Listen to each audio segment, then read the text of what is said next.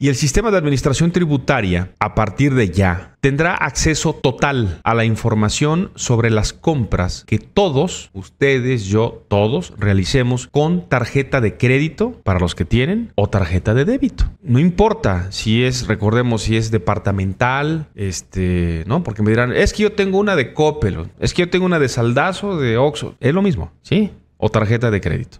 Y entonces el sistema de administración tributaria va a poder establecer cobro de impuestos a todos aquellos que estén inscritos o no en la Secretaría de Hacienda, ante la Secretaría de Hacienda a partir del registro de sus pagos. Lo voy a tratar de explicar. Ayer se firmó un convenio entre el sistema de administración tributaria y la Asociación de Bancos de México. Este acuerdo es para que se puedan emitir facturas, que esto sí es parte de las modificaciones que se hicieron recientemente, se puedan emitir facturas instantáneas a quienes hagamos pagos con tarjeta de crédito o débito. A ver, si yo voy a una tienda X ahora y pago con mi tarjeta de débito a un OXO, lo que me dan es un ticket sin valor fiscal. Si yo quiero una factura, entonces tengo que hacer todo un procedimiento o meterme a una página y el, bueno, eso se acabó. Ahora, de manera instantánea, lo que me van a dar a mí de comprobante, o no me den comprobante, es una factura por la compra que haya hecho yo con tarjeta de débito o crédito, ¿correcto? Es instantáneo. Y el SAT Hacienda sabrá, porque la ley se lo permite. Les voy a dar ahorita, por aquí tenía el dato de la, el artículo donde tiene la autorización la Secretaría, el Sistema de Administración Tributaria, pero tiene pues facultades para conocer toda la información del fiscal, del poseedor de la tarjeta.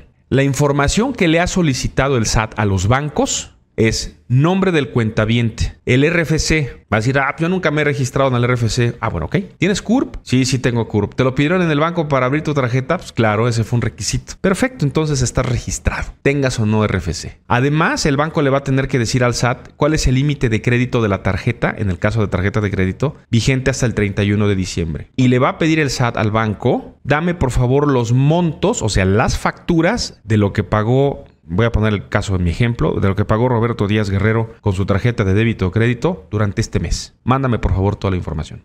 Y entonces lo que va a hacer el SAT es una compulsa. Va a cruzar datos y va a decir, a ver, ¿cuánto nos declaró Roberto Díaz Guerrero que gana al mes? Este, ¿Cuáles son sus ingresos?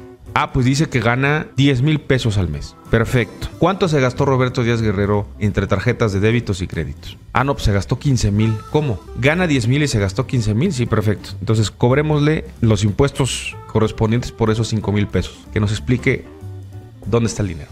Como para qué queremos más impuestos. El tema, amigos en, en el país, y ahora podrán entender por qué, porque me lo habían preguntado con anterioridad y yo trataba de explicar ¿A dónde va el gobierno con este sistema de la bancarización? ¿A dónde va el gobierno y por qué el, gobierno necesita saber y tener más información de en qué usamos nuestro dinero? Pues, para cobrarnos impuestos, cosa que no está sucediendo ahora. Me han dejado, y vean, entren ustedes a los comentarios en redes sociales, opiniones, que está bien, que está mal, que no se reflejan los impuestos que yo pago en los servicios que recibo. Bueno, tiene mucho tiempo que eso no sucede. Me dejaron un comentario interesantísimo, interesantísimo. Este, me dice una persona, mira, frente a mi negocio hay un puesto de aguas. Este, ese, ese puesto de aguas más o menos vende promedio de entre 10 y 15 mil pesos diarios. Muy buenas aguas. 10 y 15 mil pesos diarios. ¿Sí? ¿Cómo recibe el dinero de las aguas? Pues no, no tiene que dar factura, ¿verdad?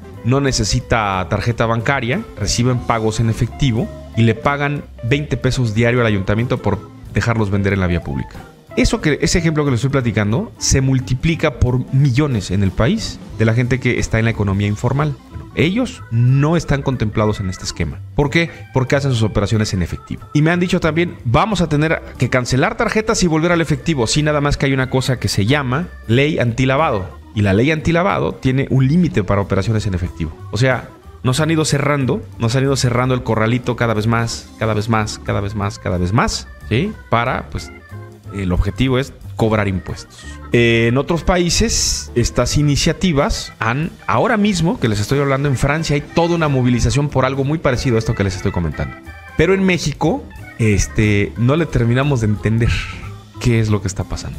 ¿Es obligación del gobierno? Claro. ¿Es su tarea? Claro. Eso es, digamos, una de sus tareas fundamentales. Administrar, fiscalizar, cobrar impuestos para que el gobierno tenga dinero y nos den buenos servicios de salud, seguridad pública, por ejemplo, ¿no? Entonces, la gran discusión en México siempre ha sido oye, con estos servicios de salud y con esta seguridad pública, como que no me siento muy a gusto pagando impuestos. Pero es nuestra obligación. Vaya tema, ¿no? Vaya tema. ¿Y ustedes qué tienen? ¿Tarjeta de débito, de crédito o alcancía y cochinito y pagan todo en efectivo? Platiquen con su contador.